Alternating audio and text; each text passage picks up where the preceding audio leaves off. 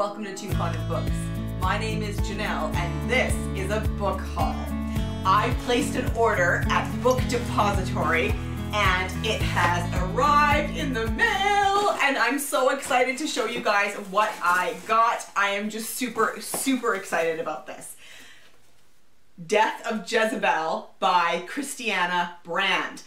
I really enjoy Christianna Brand and um, my good friend James um, has is also a huge fan of of uh, Christianna Brand and he keeps telling me to read this one but it has been out of print for years but British Library Crime Classics has brought it back and I am super excited.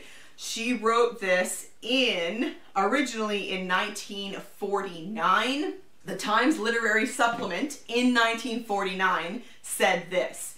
A very neat version of the sealed room mystery provides Miss Brand with excellent opportunities to indulge her sense of character and her pleasantly malicious wit, as well as her gift for posing an ingenious problem. I'm super, super excited about that. I also got the other two books in the series by James Anderson. He wrote the affair of the mutilated mink coat. And he wrote this in the 80s. And it is set in the 1930s. It is very golden age style mystery. It was just fun and lighthearted and he didn't take himself too seriously and I loved it so much. But I could not find the other two books in the series until I looked on book depository and realized that they're they've reissued them and so I am so excited. The first one is called The Affair of the Bloodstained Egg Cozy by James Anderson and this was initially published in 1975. The theft of the diamond necklace and the antique pistols might all be explained, but the body in the lake is particularly puzzling. Don't expect me to solve anything, Inspector Wilkins announces modestly when he arrives to sort out the unpleasantness. And at the gathering that includes English aristocracy, foreign agents in disguise, a ravishing baroness, a daring jewel thief, a Texas millionaire, and of course the redoubtable butler, it will take some intricate sleuthing to uncover who killed whom and why. For whodunit fans who prefer their villains to be nice, refined people, the sort who quote Shakespeare and knock off their nearest and dearest between rubbers of bridge, the affair of the blood-stained egg cozy is a delectable treat. So I'm so excited to get that. And then the third one is The Affair of the 39 Cufflinks. And I have to say, I am also a big fan of these new editions. These, these are really nice. So this one was written in 19, oh, 2003. Isn't that interesting? Because I'm pretty sure that the affair of the mutilated mink coat is like mid to late 80s. And the first one was 75. So yeah, he really took his time in between with these. Um, yeah, uh, I love it. Lord Burford had some serious misgivings about hosting yet another house party at Alderley. After all, the previous two could at best be described as disastrous.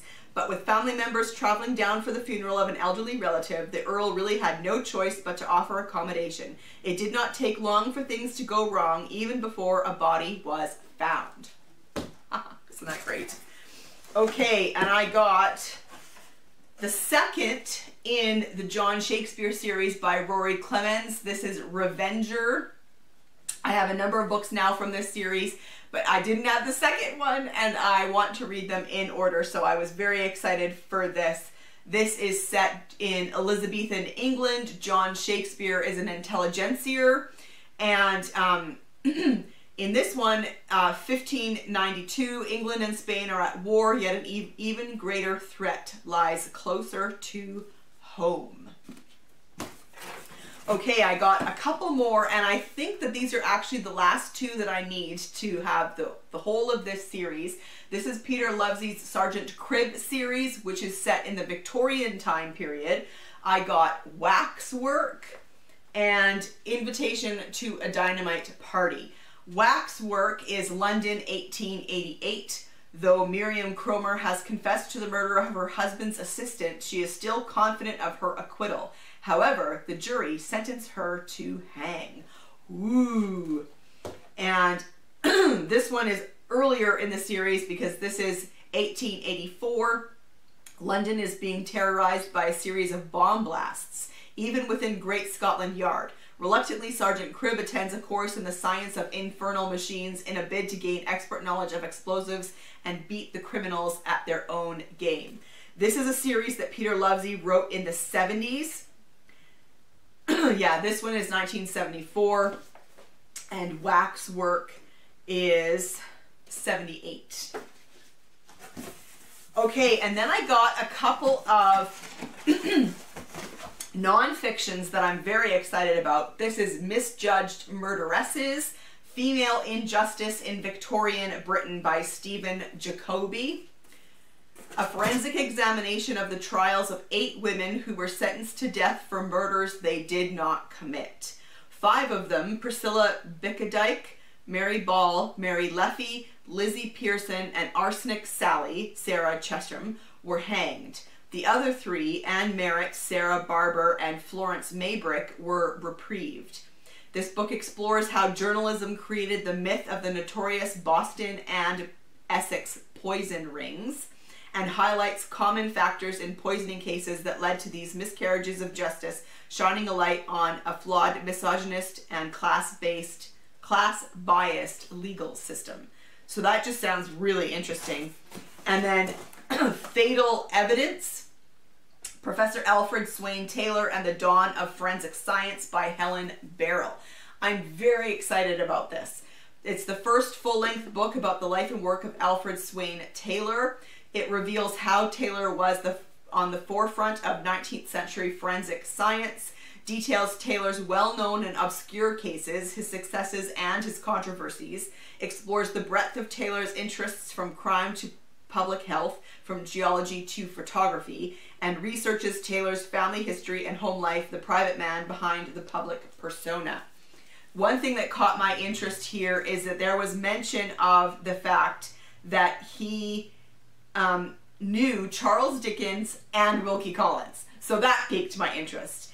He gave Charles Dickens a tour of his laboratory, and Wilkie Collins owned copies of his books. His work was known to Sir Arthur Conan Doyle, and he inspired the creation of fictional forensic detective Dr. Thorndyke, who is, that's a classic detective in Golden Age fiction. And for Dorothy L. Sayers, Taylor's books were the back door to death. So yeah, I'm super, super excited about that. So there you have it. That is my book haul from Book Depository. Let me know if you've read any of these books, if you are, um, and if you have, what you thought of them, um, because I am, I am just super excited about all of these books. And I will see you for another video soon.